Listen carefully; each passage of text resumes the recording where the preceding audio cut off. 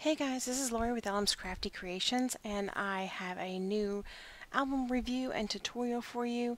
Mm-hmm. This project was completed using the contents of the February Craftology box from countrycraftcreations.com. The collection is called Memory Lane by Photoplay and it's one of my favorites and actually Tamara had sent me this collection back in December and I started this album at that time and when the review of the new Craftology box contents came out I was excited because I was like hey I already have an album done so I'll probably um, do so now I have more of this paper. I'll probably do a smaller project with it as well. Um, but what I've done here is I've used my Bo Bunny glitter paste that y'all know that I love to use. I've used it several times around the edges here to give it that sparkle. I just thought that this collection went with um, gold accents and so I've used that throughout the album. So right here I've used the three flowers that came with the collection and then I've cut into the pattern paper here to make a pocket and then what I did is I, I cut right here and right here and then I folded that piece down to make it a double edge to make it stronger. And then I added my glitter paste all around here. And then I just have two of the cut aparts from the collection tucked inside this little area here. And I thought that that turned out really cute. Here's the spine. And again I used glitter paste and then Throughout the album you'll see that I used gold stickles all around the pages and then I put this sticker from the collection on the back. And there is the back. Again it has gold stickles all around it. So to create this album I used a little bit more paper that um, than what comes with the Craftology box. So I had 15 sheets of paper to work with and you're going to have, I think it comes with 12, the collection does. So to supplement, I would just use, you know, three sheets of solid color cardstock and you're going to be just fine.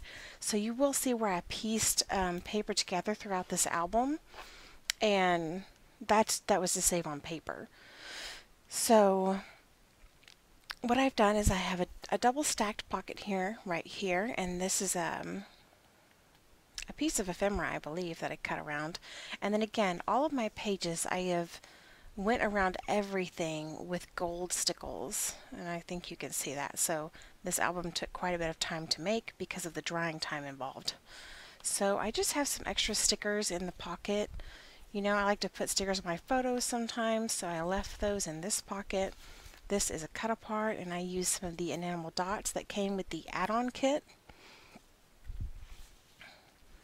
And then I also used, I had it right here. This also came with the add-on kit and I loved it. I love the wood grain type paper. So I've used that on my booklets that I created throughout the book. You know that I love booklets. So this is just some cardstock that I supplemented this little area came out from this and um, I just used some seam binding there so it's blank on the inside. So here I just made a little see-through pocket and added some gold dot acetate and on the inside I just have one little small photo mat and I made them to look kind of like Polaroids so I thought that was cute and then a piece of ephemera there and then you would put your photo on the back there as well. And then on the other side, I have this booklet. So I've added a, some seam binding that I had in my stash, and then I added this charm that came in the kit with some enamel dots and a sticker. Again, you see where I layered the papers. This opens up. And again, more layering to stretch my cardstock. And then this is just a um, waterfall. I really won't tie it because there's not paper on the the rest of the flaps because y'all know that's how I do my waterfalls.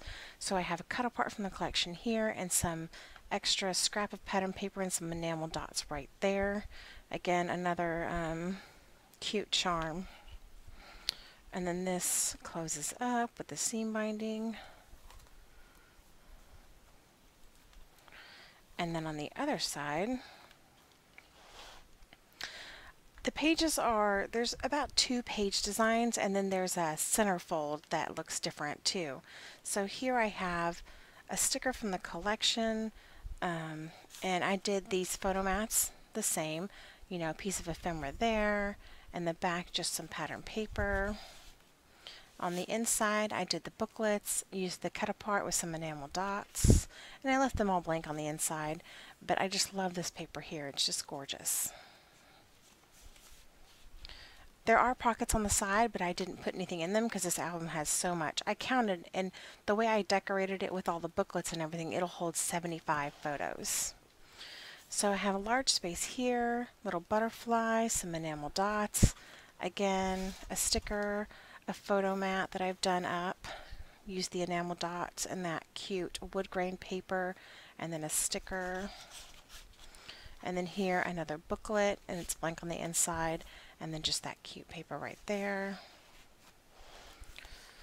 Flip this over, and actually, this was a mistake. There should be a magnet right here, and I forgot, so I didn't add anything. I just left it that way.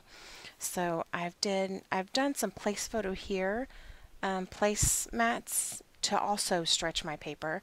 I've done the use the envelope notch in my punch board and then I have just a couple of photo mats here, just plain. I supplemented some brown cardstock.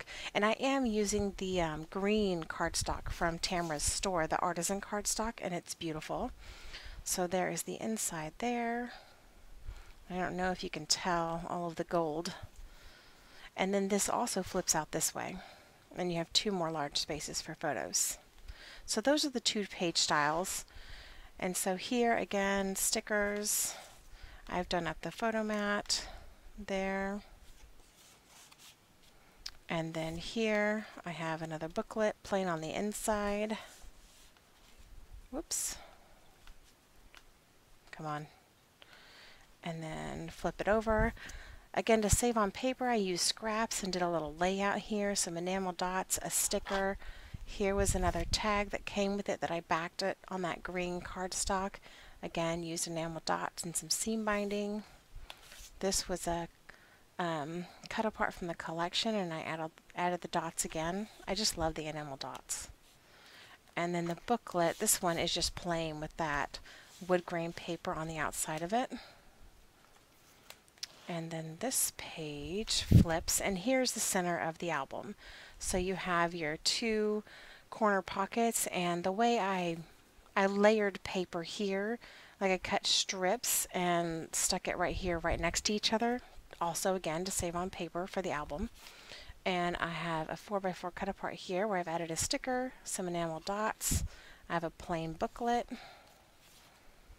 And then on this side, another cut apart, some dots, again, more, and a booklet that's plain on the inside. Here I have a tag from the ephemera pack. I backed on that green cardstock again. There is another booklet on this side pocket and then flip it over and then I have a photo mat here that I've decorated and then there's the back. Whoops. Another sticker right there. Booklet sticker that's left open so you could put your photo behind it. And then here another piece of um, ephemera I've backed on cardstock and then just two plain and simple photo mats right there. These are four and a quarter by six and a quarter and the smaller ones, I'll show you those in a minute. So again, I've layered the strips of paper here, you'll notice, to stretch it. So a sticker, and then this one opens up this way. You have two large spaces and then again flip it and this time I remembered my magnet. These photo mats are like five and a quarter by four and a quarter and there's the back. I loved that stripe paper and then I have two stickers down here and then a booklet right here and then this is magnetized and flips open and I forgot to take that picture out. There's me and my dog. Um, so I did a photo mat there, some, what you call it, stickers, um, piece of ephemera here. Again, another photo mat that I've decorated. Really cute. And again, the plain booklet on the inside. And that closes shut. Did I remember everything? Yes. So then this was, I think, a sticker or from the ephemera pack. I can't remember. And then I just have two plain photo mats again. And then I have a booklet. Um, this one I did like an accordion fold and just added two strips of paper and it folds out this way. And then you can put photos in the back as well. Thought that was cute. I like that paper peeking up. So that's it. That's my uh, Photo Play Memory Lane album. I thought it turned out really cute. I just wish I would have remembered that magnet right there, but that's okay. And so let's go into the tutorial right now and I'll show you how I created it. So it's really simple. As you saw, there were two page styles and I've made them a bit differently. So let me get out my measurements so I can tell you as I go. Here they are. And let's start with the base pages. And let's see. I don't want to get everything out of order so I don't confuse myself, which y'all know it happens. So this, and then this. Okay, so for the base pages, um, I've mixed my cardstock just because to make some of the pages, I was using 8.5 by 11 cardstock at first to cut my pages, but for some of them you need full 12 by 12 sheets. So this is cut to 7 and 3 quarters by 11 and 3 eighths. And then you score on the 11 and 3 eighth inch side at 5 and 3 quarters. Yeah, what's that measurement for?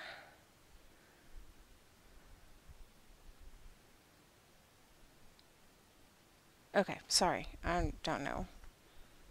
Oh, that's this page, I think. Okay, sorry. So, so you fold on that score line, and the opening goes this way.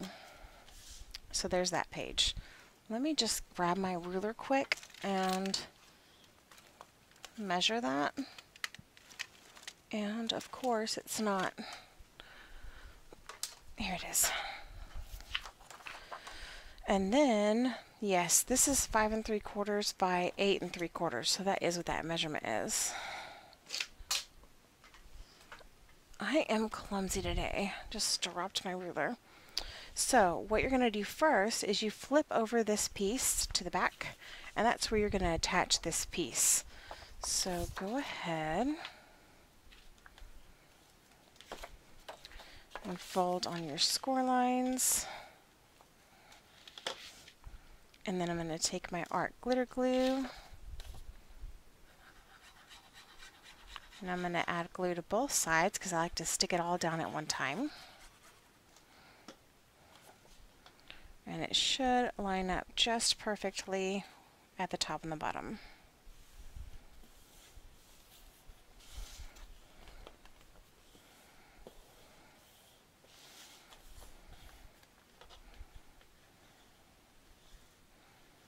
and this will be your binding pocket. So there we go. There's our base page. Now flip it back over to the front and we're going to work on this section. So the first thing you're going to want to do is the pockets. And these are done a little bit different. So you'll notice that this page is a little bit, the front first flap is a little bit shorter than this flap. There's a reason for that because what we're going to do is we're going to cut this pocket to um, 8 and 3 quarters by 9 inches. You're going to score on the 9 inch side at 4.5 and then score on the 8 and 3 quarter inch side at half an inch on each end.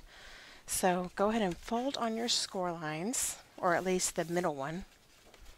And then we're going to take our scissors and I knew I was going to need a pencil.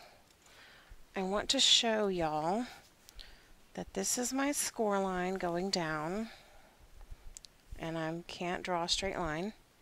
And I'm going to cut little triangles on either side of the score line. So you can see that. I'm going to cut right up but not go over the score line in, for the hinge on each side and take that piece out. I'm going to do the same for the opposite side. Cut and cut.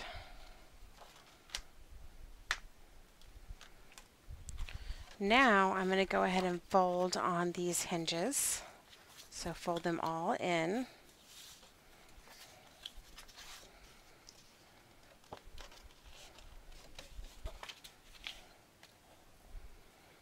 And get a good crease. And then I'm going to fold on these as well. Make sure you crease it really well. And then this is going to be the pocket and how this works is you're going to stick this over here like this. I'm going to make sure it lines up perfectly top and bottom okay so once you have it all lined up to where it's even down here and then it's even up here hold this down lift this part up I like to flip mine around like this and then I'm going to add my glue right here first.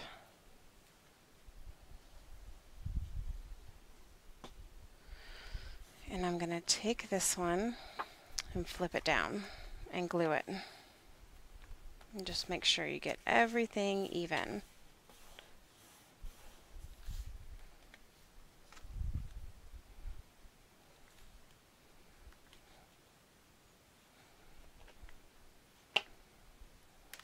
Okay, now you're going to flip it open this way and you're going to glue these down. And this creates your two pockets, one on each side, with just one piece of cardstock. And I think that's just the coolest. Isn't that dumb? I just think it's so easy. So that way I don't have to do two separate pockets.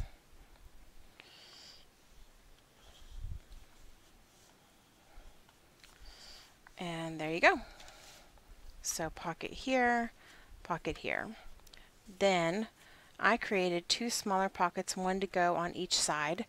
So you're going to cut these at five and a half by four and a half. You're going to score on the four and a half inch side at half an inch and then on the five and a half inch side at half an inch on each end. And then miter the corners. I'm going to do that to both. Set the same size.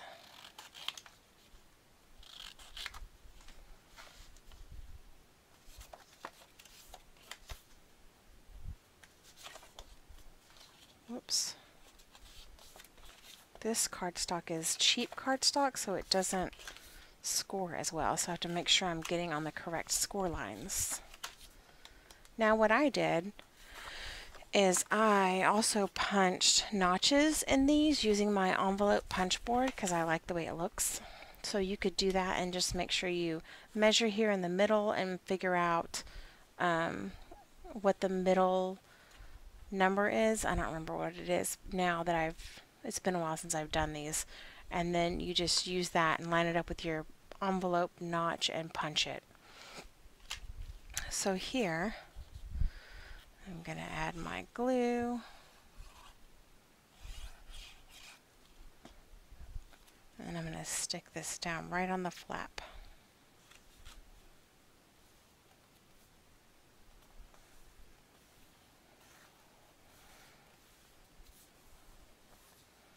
And I always get glue everywhere I shouldn't.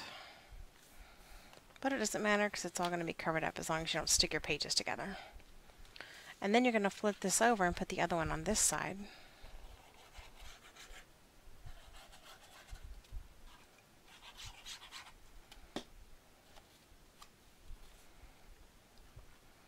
Just like this. Super easy album.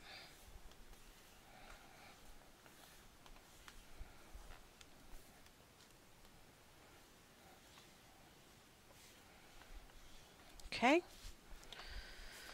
So now we're going to flip this over and on the other side you're going to do what I call the accordion fold. You're going to cut one piece of cardstock to 11 and a half inches by 7 and 3 quarter inches. You're going to score on the 11 and a half inch side at 5 and a quarter inch and also, which it would go this way, 5 and a quarter inch and then at 11 inches. So then go ahead and miter your corners here. And I'm going to flip this over. And this, you're going to put glue on the inside of the hinge. And it's going to tuck inside this page here. Inside the base page. Okay.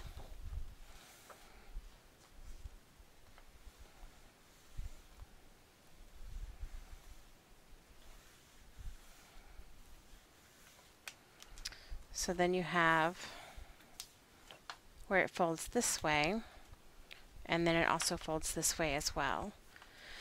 And then I put a pocket here. So this larger pocket is cut to six and a quarter by four and a half. Score on the four and a half inch side at half an inch. And then on the six and a half inch side at half an inch on each end. And then miter your corners and fold on your score lines.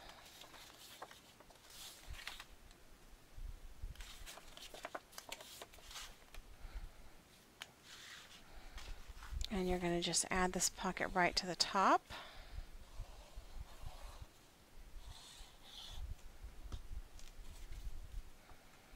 of the first flap, or however you want to call it, the first fold. And that's it for the two page styles. So, what I've done for the corner pocket, I'm going to show you how to do that as well. I went ahead and created a second base page so you can see that this would be page number two and this is the same as we did here. And it opens up this way and you have a pocket here and a pocket here again.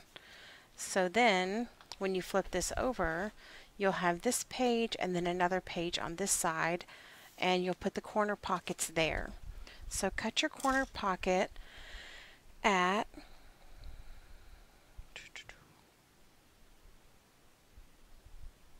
where did it go? Oh, sorry, six and three quarters by six and three quarters. Score on all four sides at half an inch, and then you're going to cut this in half diagonally. I've shown y'all how to do this many a time. So I'm going to take my trimmer here, I'm going to put it in here, and I'm going to line up the corners and slice it diagonally. And the more accurate you are with this, the better. And there's my two pieces. So I'm only going to need one because I only created one base page, but you're going to do one over here and then one on what would be this page right here. So I'm going to take this piece, I'm going to miter my corner at the bottom, and then I'm going to fold all my score lines.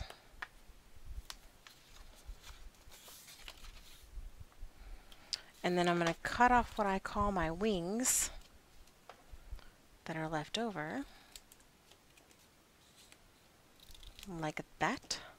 And then this is what you glue down right here. And sometimes I have to trim this edge off. It like hangs over a bit. And I just give it a little snip. That's what I do. So it's flush with the page. So it's just like the tiniest of pieces that I cut off, if you can even see that. So then I'm going to add my glue. And stick this down here.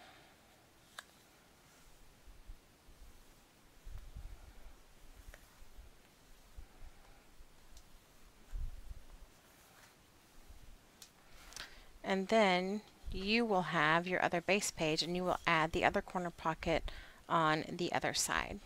Okay, so super simple. There's those two pages. So I wanted to also show you how to do the stacked pockets. They're really easy. So to do the stacked pockets on the cover, you're going to cut two pieces at 3 inches by 8 and 3 quarter inches and you're going to score on the 3 inch side at half an inch and then on the 8 and 3 quarter inch side at half an inch on each end for both pockets. You're going to miter both pockets just like you always do.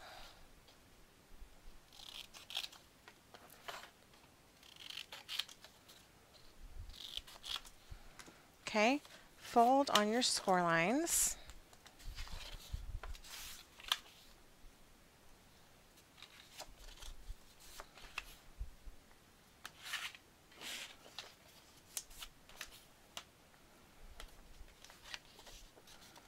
And this one actually you don't fold on.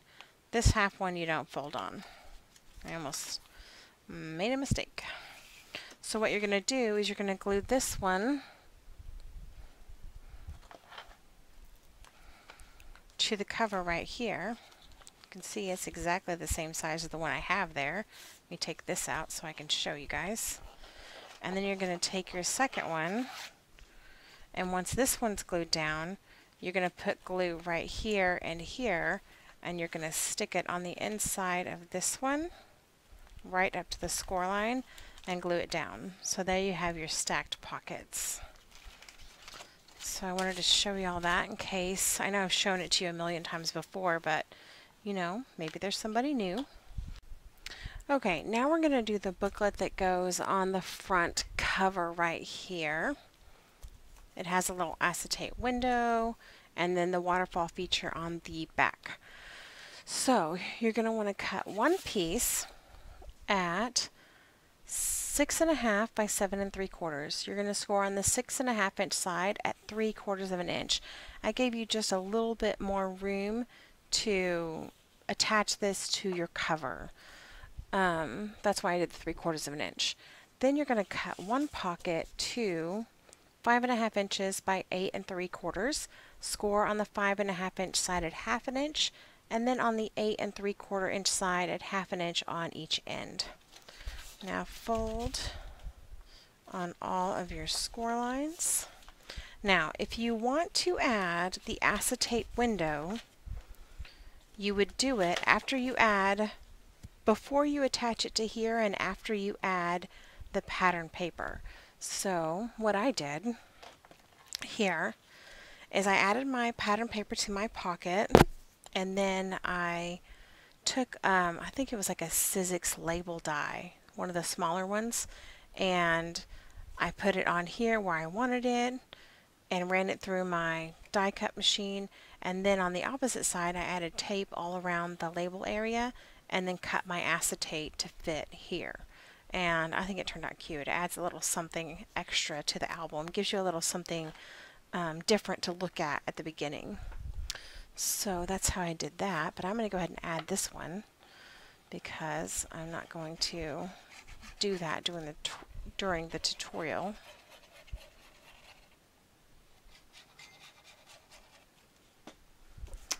So here we go.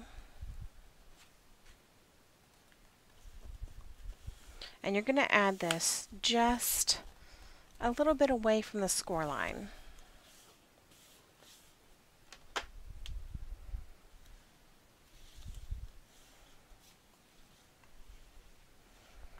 And there's my pocket. Okay, so now I'm going to flip this over and I'm going to add my little waterfall feature here. So let's start with the flaps first you're going to cut two flaps to 5 and an eighth by 7 and 3 quarters. You're going to score on the 5 and 1 eighth of an inch side at half an inch and then also at 5 eighths of an inch for each piece. And then go ahead and fold on both of those score lines for each piece. I like to do the 5 eighths of an inch one first because somehow it's easier for me to then maneuver into that half an inch one to give you that eighth of an inch gusset we're looking for. which is, it should look like that. So we'll do two of those.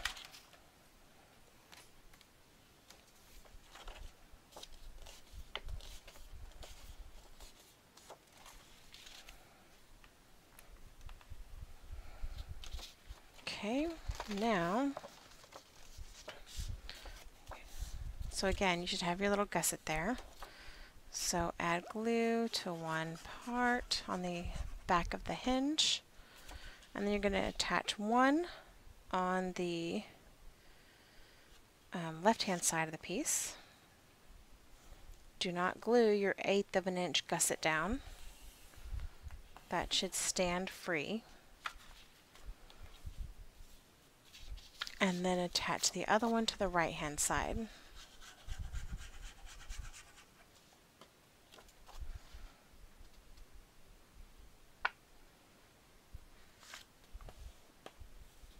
Oops.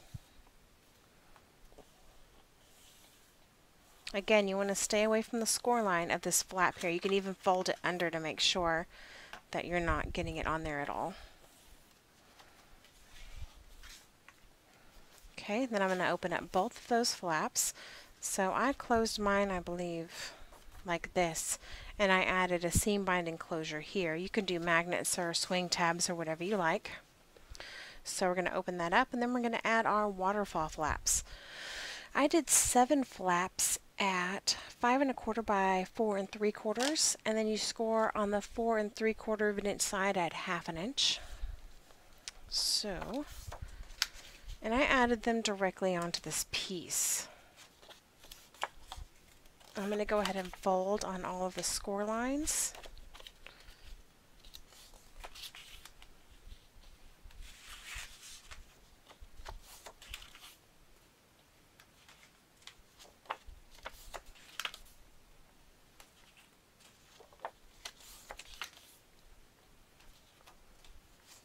should be seven.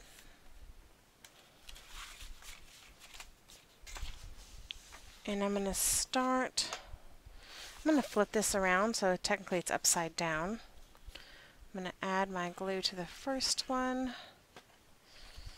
And I'm going to center it on the page. So you should have, I don't know, about a quarter of an inch on each side of the flap. So what you, what I would do, what I did do, is I put my pattern paper down first before I glued this down. Yeah, you should have about a quarter of an inch on each side. So if you've already glued this first one down, no worries. Go ahead and add your pattern paper. At least I think I did. Double seam binding. I'm going to tie it into a knot in a minute. Um, yeah, I did. I added my pattern paper before I glued these down, so um, I would suggest doing that so because that way just a little bit of it's going to show on the edges. And I even brought it down. I didn't put it at the very top of the page. I brought it down some. So it made it even with the, so just a little bit of the border of the paper showed all the way around. But we're going to go ahead and continue this and you're going to do it like a waterfall. Go ahead and add your next one right underneath the flap of the last one. Lift it up and I'm going to go ahead and flip it back this way and keep going. I'm sure most of you have done waterfalls before, but I always like to just continue and follow through, just in case there's someone on my channel who is new to mini album making. So you add your glue and place it right underneath, butting it up against that last hinge, but not going over it. Three more to go.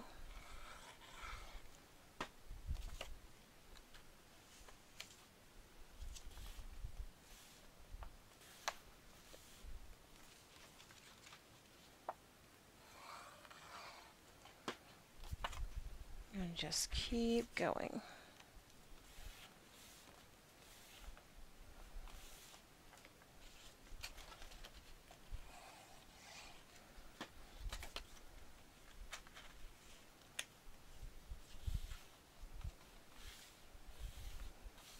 And there you go.